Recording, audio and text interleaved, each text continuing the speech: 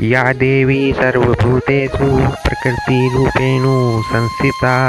नमस्ते नमस्ते नमस्ते नमो नमो। महाराज, दो हज़ार इक्यासी शुरू हो गया है twenty eighty one Vikram Samvat का साल। और आज जो है, नया साल है और नवरात्र शुरू हुए हैं। चैत्र माह की शुक्ल पक्ष की प्रतिपदा है। देसी भाषा में कहेंगे कि चैत्र के चांदन की पहला दिन है आज, और शैलपुत्री माता का जो है आज नवरात्रा है महाराज।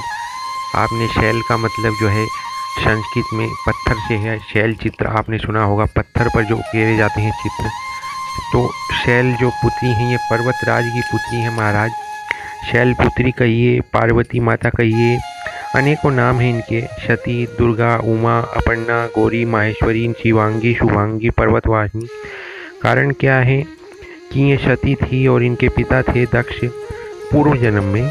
तो अगले जन्म में ये जो है, जब भस्म हो गई थी करके, जब शिव जी का अपमान हो गया था, यज्ञ में नहीं बुलाया गया था महाराज दक्ष द्वारा, और वीरभद्र ने सब यज्ञ को नष्ट कर दिया था। अगले जन्म में जो है, ये पर्वतराज की पुत्री के रूप में हुई, और पार्वती इनका नाम था बाद में शैलपुत्री पड़ गया।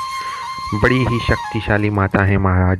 जो जो शिव की आराधना करते हैं, उनके लिए तो ये बहुत ही ज़रूरी है कि वो शैलपुत्री माँ का भी अभिनंदन करें।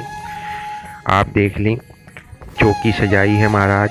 चौकी पर चारों तरफ़ चावल रख कर के और बीच में जो है आप ये देखिए, ये जोत है, ये चिमटी की व्यवस्था की गई है ताकि ये जोत जो है, ये निरंतर चलेगी जब तक ये नवरात्रि चलते रहेंगे।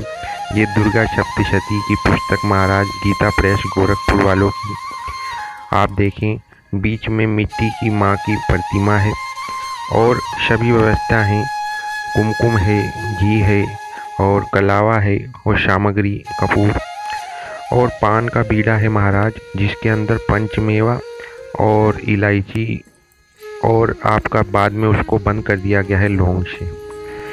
माता के सम्मुख दीपक जल रहा है महाराज स्टील की प्लेट में और धूप बत्ती है। माता को एक चुनरी से ओढ़ा गया है। मैं देखता हूँ कि दुकान वाले हमेशा ही नित्य ही एक चुनरी और एक नारियल देते हैं पूजा की सामग्री में, परंतु जो चुनरी है वो अवश्य ही दो लें, एक माता को उठाने के लिए और एक नारियल रूपी जो हमने माता को स्थान दिया है उनके लिए।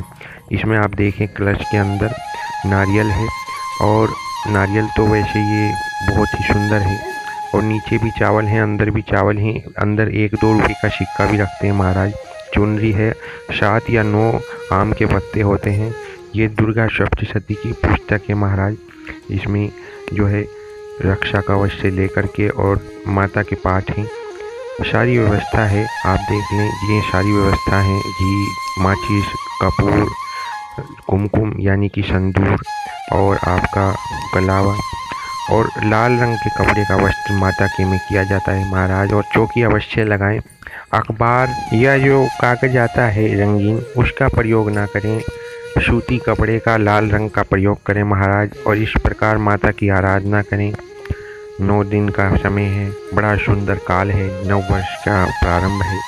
बड़ा आशीर्वाद हो, बड़ा आपके जीवन में शांति, उन्नति आर्थिक तौर पर, मानसिक तौर पर, शारीरिक रूप से, सारे ही गुण, सारा ही धन आप प्राप्त करें। आर्थिक धन भी, शारीरिक धन भी, मानसिक धन भी।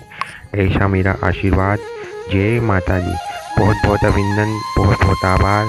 और मेरा जो चैनल है डी सी नाइन्टी वन इसके माध्यम से आप निरंतर माता के नवरात्रों की जानकारी प्राप्त करते रहेंगे। आगे भी, अगले दिनों में जो भी माता का रूप होगा, उसी के अनुसार उसकी कथा और उसमें जो मुख्य बातें हैं, आज वीडियो लंबी है, आगे से उतनी लंबी नहीं करूँगा, आपका समय ज़्यादा ख़राब ना हो। बहुत बहुत धन्यवाद। जय माता दी।